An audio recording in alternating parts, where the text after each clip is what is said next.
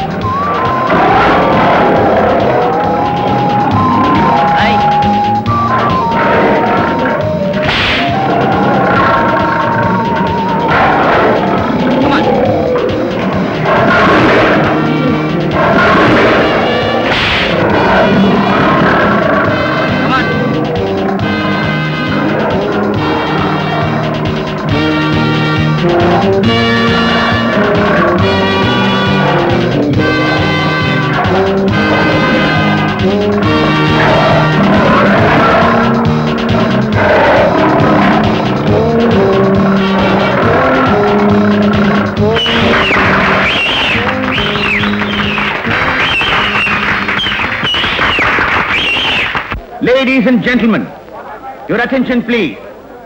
இப்போது நீங்கள் வெகு ஆவலாக எதிர்பார்த்துக் கொண்டிருக்கும் ஐட்டம். சிங்கத்தின் வாயில் தலையை விட்டு வெளியே எடுக்கப் போகிறார் மிஸ்டர் விமல்குமார்.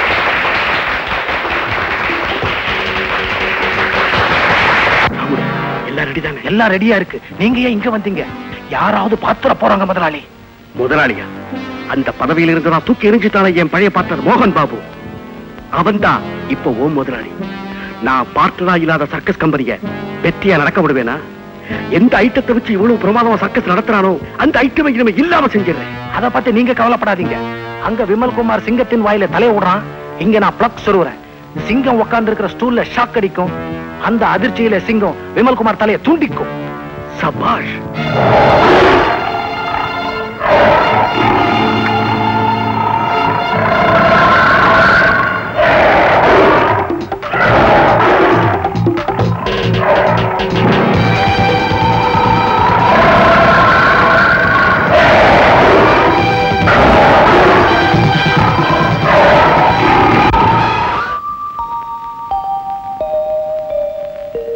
நமஸ்காரம் பண்ணிக்கம்மா.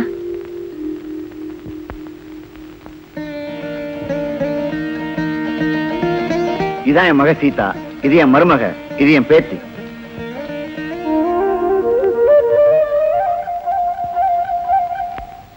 அப்பா பொண்ணு எனக்கு ரொம்ப பிடிச்சிருக்கு. சரி சரி. உங்க பொண்ண என் பையனுக்கு ரொம்ப பிடிச்சிருக்கு. சும்மா சொல்லக்கூடாது. பொண்ணு மகாலட்சுமி மாதிரி இருக்கா. அதுல பாருங்க என் பையனை பட்டப்படிப்பு படிக்க வச்சு பேங்க்ல உத்தியோகம் வாங்கி கொடுத்து இன்னைக்கு ரெண்டாயிரத்தி ஐநூறு ரூபாய் கை நிறைய சம்பளம் வாங்குறான்னா அதுக்கு நான் எவ்வளவு சிரமப்பட்டிருப்பேன் எவ்வளவு செலவழிச்சிருப்பேன்னு உங்களுக்கு தெரியாது. அதனால ஒரு ஐம்பது பவுன்ல நகை போடணும். ஒரு பதினஞ்சாயிரத்துக்கு ஒரிஜினல் சில்வர்ல ஒரு பத்தாயிரத்துக்கு எவர் சில்வர்ல ஆமா வாங்கி தரணும். மத்தபடி ஒரு பத்தாயிரம் கொடுங்க பதினையாயிரம் கொடுங்கன்னு கேட்க மாட்டோம். அதுக்கு பதிலா பையனுக்கு ஒரு ஸ்கூட்டர் வாங்கி கொடுத்துடுங்க. எல்லாம் உங்க பொண்ணுக்கு தானே செய்ய போறீங்க? எங்க பொண்ணு ஸ்கூட்டர் ஓட்டாதுங்க. வாஸ்தவம் தாங்க. நான் ஒரு சாதாரண பள்ளிக்கூட வாத்தியார். இப்ப ரிட்டையரும் ஆயிட்டேன். என் மகன் பாண்டியன் சர்க்கஸ்ல ஒர்க் பண்ணிட்டு இருக்கான். அவன் சம்பாத்தியத்தில் தான் எங்க குடும்பமே நடக்கு. அதனால நீங்க கேக்குறதெல்லாம் செய்யணுங்கிற ஆசை மனசுல இருக்கு. ஆனா வசதி இல்ல. ஏதோ எங்களால முடிஞ்சது ஒரு இருபது பவுனுக்கு நகை செஞ்சு போடுறோம். சீர்சனத்தை எல்லாம் கூட உங்க மனசுக்கு ஓரளவுக்கு திருப்தியாவே செய்யறோம். அது மத்தபடி இந்த ஸ்கூட்டர் அது இதெல்லாம் எங்களால இப்போதைக்கு முடியாதுங்க. முடியாதா? ஊர்ல அவன் பொண்ணை பெத்து வச்சுக்கிட்டு எவ்வளவோ செய்யறேன்னு சொல்றான். நீங்க என்னடான்னா எதுவுமே முடியாதுன்னு சொல்றீங்களே? அப்படின்னா புறப்பட வேண்டியதுதான். இருங்க இருங்க இருங்க. அதுக்குள்ள புறப்பட்டா எப்படி? நானும் கொஞ்சம் சொல்ல வேண்டியிருக்கு. அம்மா சீதா கொஞ்சம் உள்ள போமா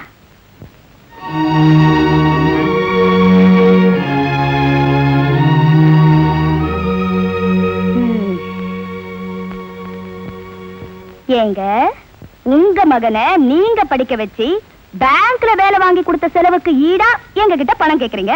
சரி நாங்க கொடுத்துடுறோம். ஏமா உங்க வீட்டுல வேலைக்காரி எல்லாம் இருக்காங்களா? சமையலுக்கு ஒருத்தி வீட்டு வேலைக்கு ஒருத்தி மொரவாசலுக்கு ஒருத்தின்னு மூணு பேரை வேலைக்கு வச்சிருக்கேன் மூணு வேலை சோத்த போட்டு.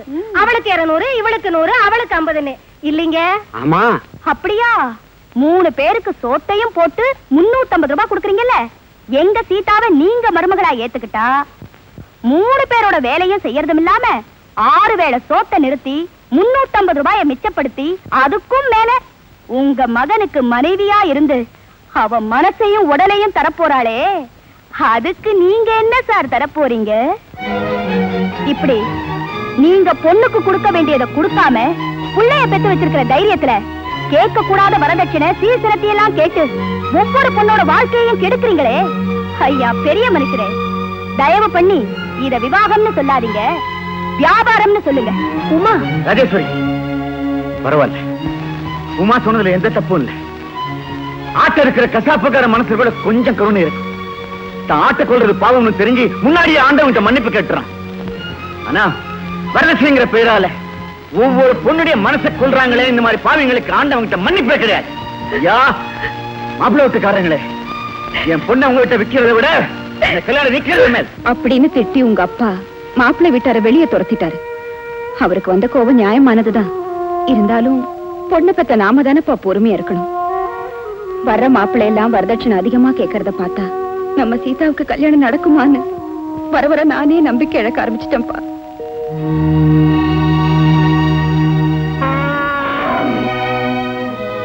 என்னென்ன கையில லெட்டரு கண்ணுல கண்ணீரு? வழக்கம் போல தங்கச்சி சீதாவோட வரதட்சணை பிரச்சனையா? எனக்கு மட்டும் கையில பவர் இருந்தா வரதட்சணை கேட்கிற ஒவ்வொரு பயலையும் சிங்கத்து வாயில நுழைச்சு விட்டுருவேன். பாத்தீங்களா? சிங்கத்து வாயிலன்னு சொன்ன உடனே தான் ஞாபகம் வருது. நம்ம விமல்குமார் தலைய சிங்கம் துண்டிச்சுதே. அதுக்கு பிறகு அந்த ஐட்டத்தை செய்ய யாரும் முன் வராதனால பதினஞ்சு நாளா சர்க்கஸே நடக்கல. பாவம் முதலாளி கூட. அந்த வேலையை செய்ய யார் முன் வந்தாலும் மாசம் பத்தாயிரம் ரூபாய் தர்றேங்கிறாரு. ஆனா யாருமே முன் வர மாட்டேங்கிறாங்களே. ஆமா முதலாளி. சிங்கத்து வாயில தலை விட்டு வெளியே இருக்கிற ஐட்டத்தை இன்னிலிருந்து நானே செய்றேன். அப்படியா? Thank you Pandian. I am very very happy ஆனா நீங்க சொன்னபடி மாசா மாசம் பத்தாயிரம் ரூபாய் பணம் ஒன்ன தேடி வரும். Okay sir. பாவம் பாண்டிய ரொம்ப நல்லவன் சார். ஏற்கனவே தங்கச்சிக்கு வேற கல்யாணம் ஆகாம ரொம்ப கவலைப்பட்டுக்கிட்டு இருக்கான் சார். அது மட்டும் இல்ல சார் அவனுக்கு கல்யாணம் ஆகி ரெண்டு மூணு வயசுல ஒரு குழந்தையா இருக்கு சார். அதனால முடியாதுங்கறியா இறக்கப்பட்டா எதுவுமே நடக்காது. இந்த ஐட்டத்தை பண்ண இந்த உலகத்துல வேற எவனுமே வரக்கூடாது. அது மட்டுமல்ல என்ன விளக்கிட்டதுனாலதான் அவன் பிசினஸ் டல் ஆயிடுச்சுன்னு என் பழைய பார்ட்னர் நினைச்சு பார்க்கணும். என்ன? ரெடியா வழக்கம் போல அதை அப்பவே ரெடி பண்ணிட்டேன். Ladies and gentlemen your attention please இடையில் நிறுத்தி வைக்கப்பட்டிருந்த சிங்கத்தின் வாயில் தலையை விட்டு வெளியே எடுக்கப் போகும் காட்சியை இப்போது செய்ய போகிறார் மிஸ்டர் பாண்டியன்.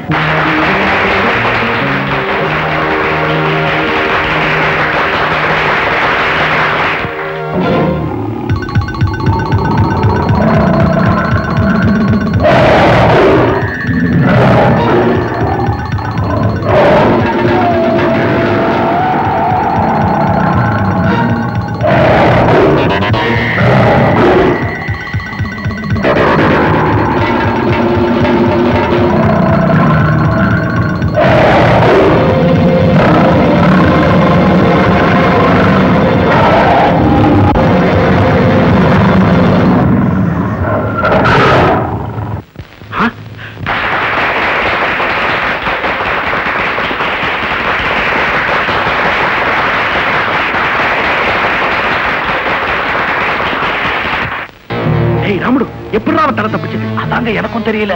சிங்கம் உட்கார்ந்த அந்த ஸ்டூலுக்கு அடியில தான் ஒயரை கட்டி கனெக்ஷன் கொடுத்திருந்தேன்.